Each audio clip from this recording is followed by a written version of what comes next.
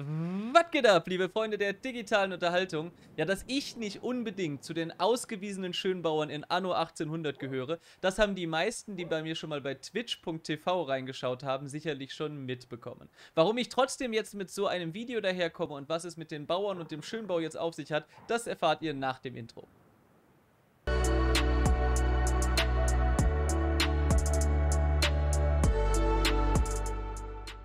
Ja, und damit wieder ein herzliches Hallo und willkommen hier auf meinem Kanal, der Heinz. Schön, dass du am Sonntag hier wieder zum Tutorial eingeschaltet hast. Ja, in Anno 1800 gibt es ja so viele unterschiedliche Spielerfraktionen. Vom Rekordbauer, der also alles auf Effizienz bauen muss oder auf möglichst gute Platzausnutzung, bis hin am Ende der anderen Seite zum Schönbauer, der sich einfach unfassbar viel Zeit lässt, für den Zahlen in Anno 1800 gar nicht so eine große Rolle spielt, sondern der sich einfach nur an Pracht prachtvollen Prunkbauten und Inseln ergötzen möchte. Heute wollen wir uns tatsächlich ein bisschen mit Schönbau beschäftigen und vor allem der Inselattraktivität, die wir nämlich immer hier oben auf diesem Symbol abfragen können. Diese Insel, auf der wir uns hier gerade befinden, hat eine Attraktivität von 246 derzeit und den Titel Anständige Siedlung. Und darunter können wir hier immer die positiven Effekte und die negativen Effekte bezüglich der Inselattraktivität uns anschauen. Beispielsweise haben wir derzeit keine kulturellen Ornamente, deswegen kriegen wir auch 0 Punkte. Wir haben aber sehr viel unberührte Landschaft, deswegen 246 Naturpunkte. Es gibt keine Feste, deswegen dort auch 0 Punkte. Andererseits haben wir aber auch keine Unordne, wie beispielsweise Schweinefarm oder solche Dinge, die eben Gestank oder Lärm verursachen und unsere Einwohner bzw. unsere Insel unattraktiv machen. Umweltverschmutzung, keine Schwerindustrie, wie jetzt zum Beispiel die Stahlproduktion. Und es gibt auch derzeit hier keine Kriege, Bürgerkriege oder Aufstände. Wie man jetzt vielleicht schon ab den Bauern da habe ich zum Beispiel jedenfalls sonst immer nur so das Ziel, möglichst schnell die nächste Bevölkerungsstufe, nämlich die Arbeiter, zu erreichen. Aber wie man vielleicht schon da anfangen kann als Schönbauer, besonders schöne Dinge zu bauen, beziehungsweise Attraktivitätspunkte für die eigene Insel zu sammeln, das gucken wir uns jetzt an.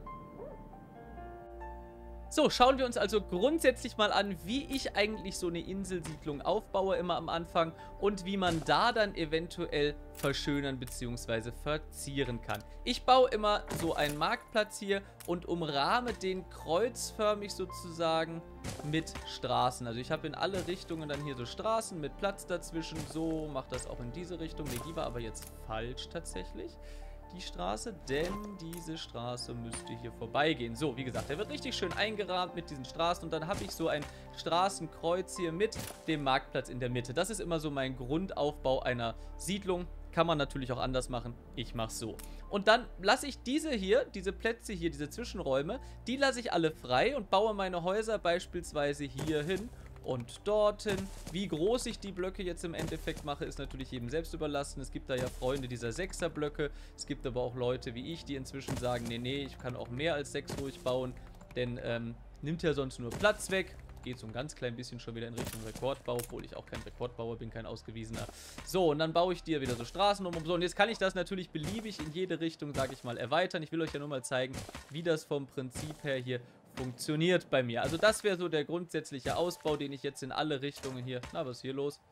So, den ich jetzt in alle Richtungen noch dementsprechend erweitern kann. Ja, so, und jetzt geht es schon los. Warum lasse ich diese Felder hier frei, wird sich der ein oder andere vielleicht fragen. Was soll ich mit dem ganzen Platz? Nun, wir brauchen ja später mal ein neues Zwischenziel, nämlich Dorf. Wir brauchen ja später mal noch Platz, um beispielsweise Schienen und Elektrizität in unsere Stadt zu bekommen. Den habe ich immer noch, den Platz. Wir brauchen schon am Anfang jetzt Platz beispielsweise, und da sind wir beim ersten Thema, was den Schönbau angeht. Wir brauchen Platz, um unsere Feuerwehrwache hier irgendwo einzubauen. Und die passt jetzt bei mir ganz, ganz großartig hier zum Beispiel so rein, ohne dass ich Platz verschwende. Ja, ich könnte die also zum Beispiel hier hinsetzen. So, Jetzt kann man natürlich sagen, okay, das ist fertig, ich mache meine Straße wieder hier hinter und dann ist es gut. So würde ich das auch normalerweise machen. Wenn ich jetzt sage, ich möchte das Ganze vielleicht wirklich ein bisschen schöner bauen, warum nicht hier vorne einfach einmal freilassen? Das Ganze mit einer Straße hier zum Beispiel mittig anschließen und jetzt den frei gebliebenen Platz einfach nutzen, um hier zum Beispiel so ein Bäumchen hinzusetzen, auf die andere Seite vielleicht auch. Dann machen wir auf der einen Seite nur eine schöne Wiese und hier gibt es einen so einen Busch. Und schon habe ich meinetwegen hier ein bisschen Grünfläche geschaffen in meiner Stadt. Jetzt kann ich natürlich dahinter auch noch wieder einen Platz lassen und kann sagen, ich nutze diesen Platz hier wieder entsprechend, um ein bisschen was Schönes zu machen. Baue hier noch meinen Brunnen hin, habe hier nochmal sowas. Ja, ich sage einfach mal so in die Rund Hä? Richtung kleinen Sprachfehler. Und schon habe ich das Ganze hier eigentlich ganz nett eingebaut. Ich habe ein bisschen Grünfläche und das Ganze sieht viel netter aus, als wenn ich jetzt einfach nur mit Straßen zugebaut hätte. Jetzt kann ich natürlich auch sagen, nee, nee, das gefällt mir nicht. Ich möchte zum Beispiel die Feuerwehrwache lieber hier hinbauen. Das mal als anderes Beispiel.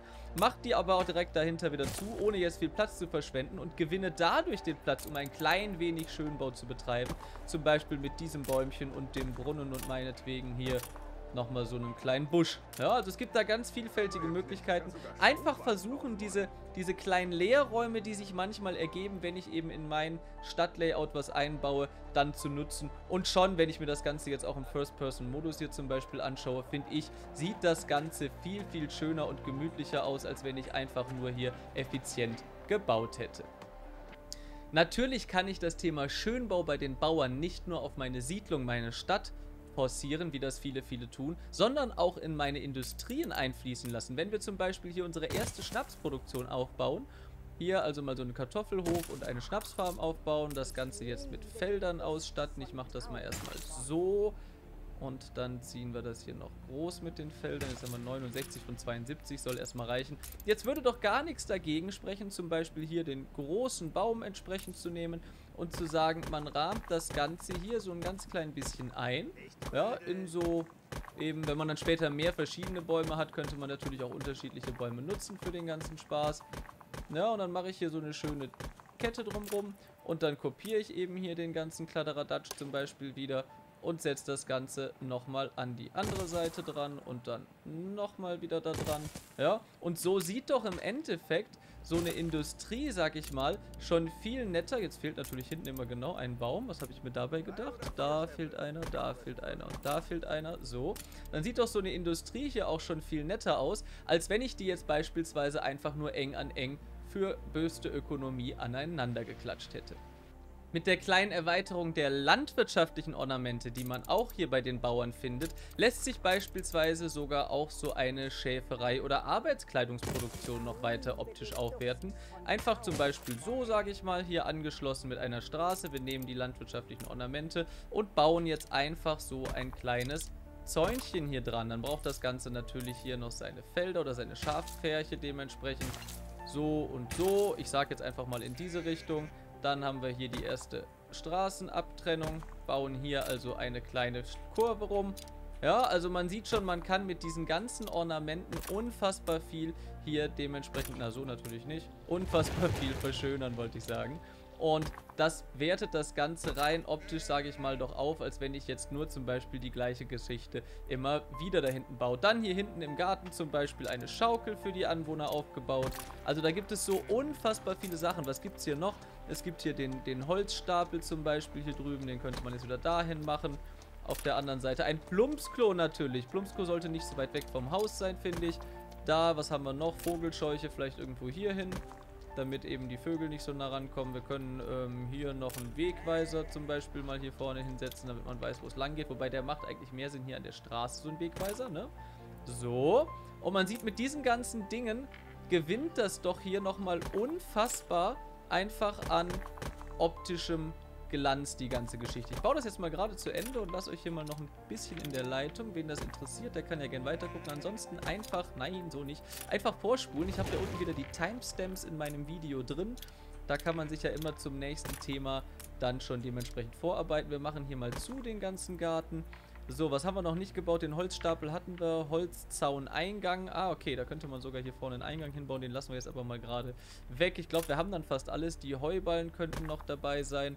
Und wir haben hier noch die Wäscheleine zum Beispiel hier hinten. So, und dann sieht sowas doch echt schön aus. Jetzt wieder zurück zu den Bäumchen hier. Und dann mal noch da einen Baum rein, so ein bisschen, damit das Ganze ein bisschen natürlicher wirkt im Endeffekt.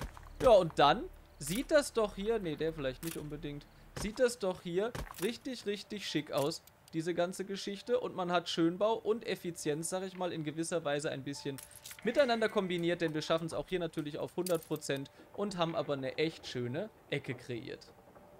Es gibt wahrscheinlich so viele unendliche Möglichkeiten mehr, bereits bei den Bauern anzufangen, schön zu bauen und sich als Schönbauer zu verwirklichen. Mir fallen spontan solche Dinge ein, wie eben Alleestraßen dann irgendwann in seine Städte zu bauen, zum Beispiel so, indem man auch hier wieder anfängt und eben hier solche Bäume dann integriert. Auf der anderen Seite wären dann dementsprechend wieder die die Häuser.